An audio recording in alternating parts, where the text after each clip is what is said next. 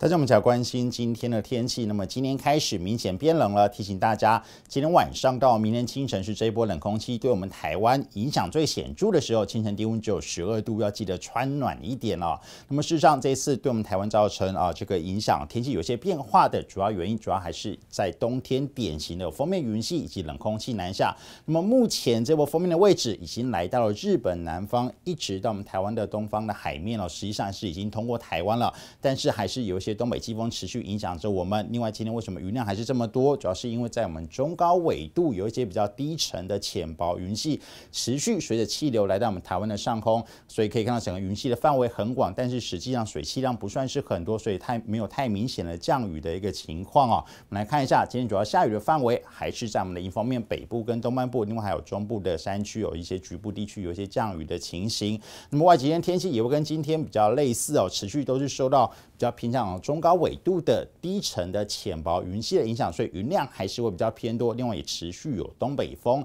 那么预计像这样子的天气会一直持续到礼拜四、礼拜五。到礼拜五的下半天，随着北方的高气压逐渐往东边移动之后，啊东北季风减弱了啊，整个西半部的天气才会逐渐的好转。但是东半部迎风面云量还是会比较偏多，也仍然会有一些短暂阵雨，也包含在我们东北部。所以外几天主要下雨的范围还是在迎风面呢，主要是我们北部、东北部跟东。部另外中部山区也要稍微注意，但是外几天啊，这个下雨的迹象会有越来越减少的趋势。那么到礼拜五的下半天以及礼拜六的时候呢，就在我们的东北部跟东部要注意，会比较容易有一些局部的短暂阵雨。另外在中南部，虽然天气是比较稳定，但是要特别注意的就是空气品质。虽然从风的图上面可以看到，目前我们台湾附近的东北风好像看起来还是很强哦，但是因为我们中南部是在中央山脉的背风侧啊，所以风速是比较微弱一点，所以扩散条件。也不是很好，有一些本地的污染物就比较容易累积，不容易扩散出去，所以还是要特别注意空气中的细悬浮微粒的浓度值是比较容易偏高。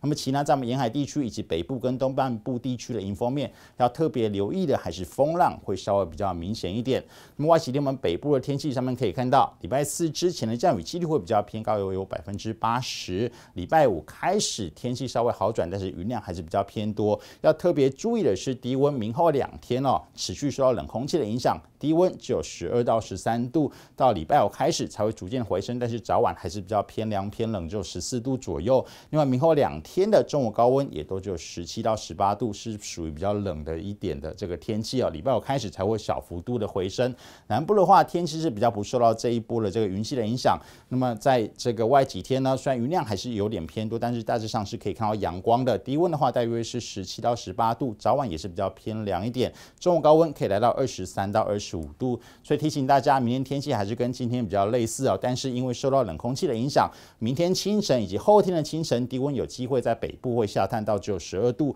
提醒大家添加保暖衣物。北部跟东部的降雨几率稍微比较高一点，要记得携带雨具。中南部天气比较稳定，但是要注意的是空气品质啊。另外提醒大家，还是要记得佩戴口罩以及勤洗手，因为目前还是流行性感冒的好发期。以上就是今天的天气。